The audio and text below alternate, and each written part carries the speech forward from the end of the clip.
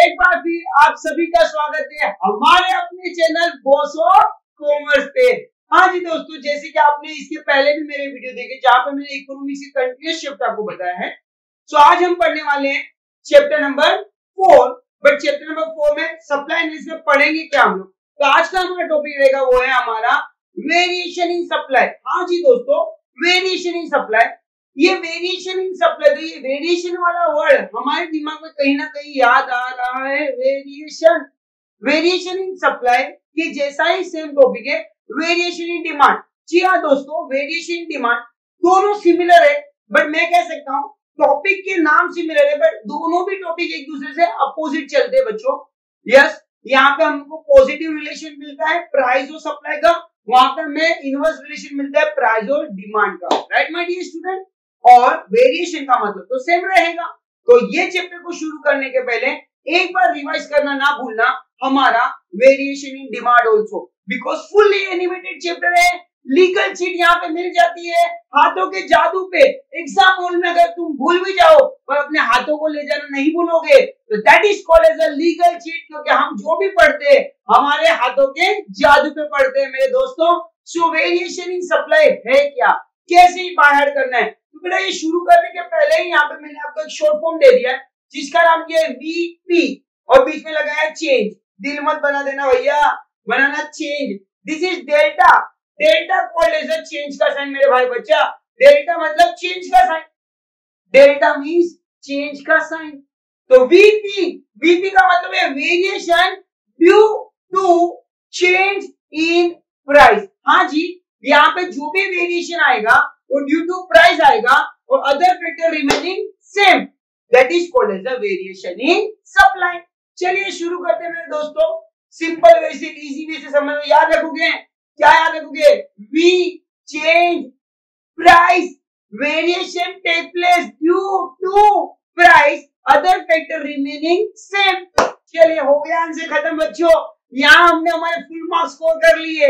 Yes सिर्फ़ पढ़ना बाकी है. याद रखना V change price other factor remaining same when when quantity of the commodity when the quantity of the commodity various various का मतलब है various का मतलब है change due to change in its price and other factor remaining constant yes बच्चों other factor remaining constant other factor remaining constant it is not the variation supply variation supply दो प्रकार से देखने मिलता बेटा।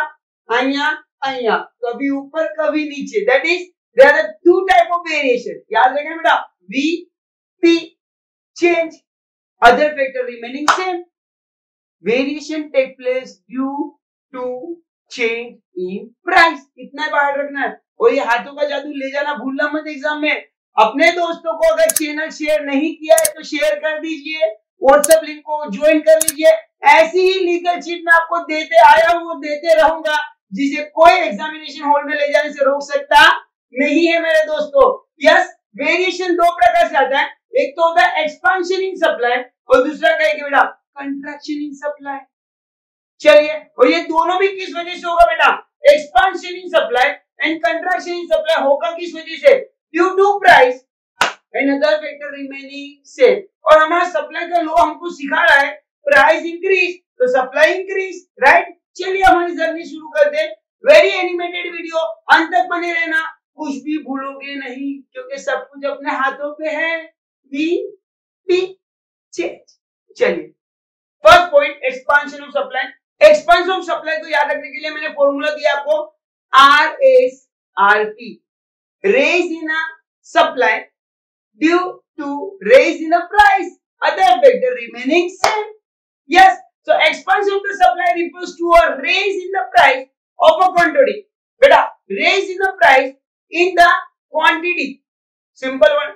Raise in the quantity supply due to raise in the price of a commodity. Other factor remaining constant. Other factor याद करो मेरे दोस्तों technology cost of production substitute goods price right ये सब क्या रहना चाहिए? कॉन्स्टेंट और सिर्फ़ चेंज करो प्राइस में तो एक्सपांशन देखने मिलेगा आपको। Expansion in supply link to upward movement बेटा, कौन सा movement upward movement of supply को due to raise in price इसका डायग्राम बना के देख लेते बेटा। सबसे पहले हम क्या ड्रॉ करते हैं हमारा? Y एक्सिस और जैसा मैंने आपको सिखाया, y एक्सिस को ऑलवेज क्या आएगा बेटा? प्राइस और x एक्सिस पे आएगा क्वांटिटी सप्लाई यहाँ पे लिखे ज़ीरो और बेसिक प्राइस ले लेते सपोज़ मार्केट में प्राइस p थी और क्वांटिटी डिमांड x था। सो पॉइंट ड्रॉ कर लेते हैं। अगेन अगर प्राइस इंक्रीज होगी p से p1 सप्लाई इंक्रीज होगी यस q से q1 सेकेंड पॉइंट मिल गया। अब further increasing the price p to p p1 to p2 या मैं कह सकता p से p2 supply of quantity also increase q से लेके q2 again I got the one point अब ये तीनों पॉइंट को मैं ज्वाइन करूँगा। तो मेरी सप्लाई को कहाँ पे जा रही है। Left to right upward left to right upward यही तो मैं प्रूव कर दिस इज़ कॉल्ड एक्सपेंशन ये जो इंक्रीजिंग कर्व जा रही है due to change in price other factor remaining same explain भी हमें वही करना है। Let's see, a supply show on the x axis and quantity supply show on y axis q, o, q say op when price increase, o p to op 1 भाई साहब, o से o q 2 पे जाएँगे। That means it show that increasing the price increasing the quantity supply हमें दो point मिले थे। First point को मैंने नाम दिया था m पॉइंट का नाम दिया था N that means what increasing the price increasing the quantity supply M to N ये जो आपको दिख रहा है increasing the price point number M to N मतलब मूवमेंट हो रही है। क्या ये इंक्रीजिंग अलग अलग कव पे या एक ही कव पे? सिंगल कव तो हमें लिखना है बेटा। OP to OP one OP OP two OP one to OQ one one curve got mn curve that point movement, यहाँ पे जो अलग अलग पॉइंट है, वो क्या हो रहा है बेटा? मूव हो रहे इन सेम कर्व क्या लिखो बेटा? Same curve right so supply it is known as expansion curve तो ये कर्व को नाम देंगे हम लोग एक्सपांशन कर्व और एक्सपांशन कर्व का फंडा क्या बेटा?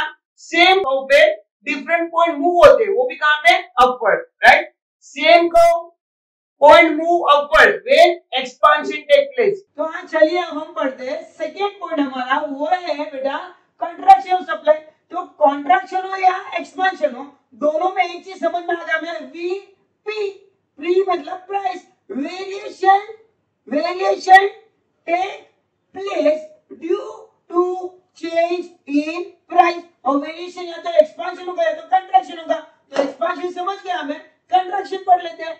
और कंट्रैक्शन का तो भाई वेरी सिंपल फंडा है बेटा। कंट्रैक्शन इन सप्लाई मैं कैसे कहता contraction of supply refers to fall in the quantity supply तो एफएस पकड़ लेना fall in quantity supply due to बेटा ये केरम कहते हैं ना ड्यू जाता है ना due to fall in the price of a commodity तो मैं कह सकता हूँ एफएस एफसी ये कोड है हमारा एफएस एफसी एफएस मतलब fall in a FS fall in a supply due to fall in a commodity price या price and other factor remaining same दूसरे फैक्टर क्या रहेंगे बेटा? सेम रहेंगे. लेट्स सी थोड़ा हम और पढ़ लेते हैं। In case of the contraction होता क्या है? Whenever contraction of supply take place there is a downward movement अभी हमने थोड़ी देर पहले पढ़ा था expansion upward movement of the points बेटा, याद रखना मेरा upward movement of the point in same supply curve but यहाँ पे क्या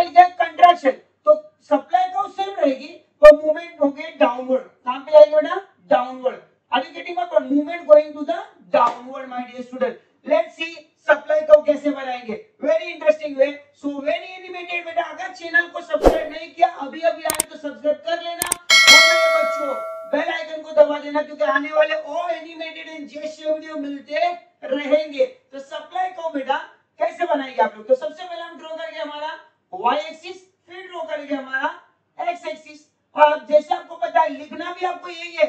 Y axis represent the price of the quantity of commodity and x axis showing the numbers of quantity supply origin बनाते हुए भूलना नहीं है ऑफ़ ओरिजिन अब starting में मुझे क्या करना कंट्रैक्शन याद रखना, जब मैंने एक्सपेंशन लिया था तो प्राइस कम था सप्लाई कम था प्राइस को बढ़ा रहा था। अब मुझे क्या करना है? कंट्रैक्शन मतलब इनिशियली स्टेज स्टार्टिंग में मैं प्राइस क्या कर लूँगा बेटा?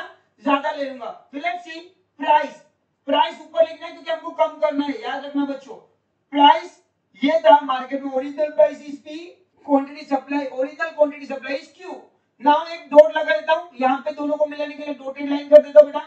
ये डॉट को मैंने नाम दे दिया है M now due to the price falls बेटा प्राइस को क्या करना है? मुझे फॉल्स करना है। Price falls P to P one ये एक्सप्लेनेशन भी करना है। Price fall P to P one तो क्या होगा बच्चों?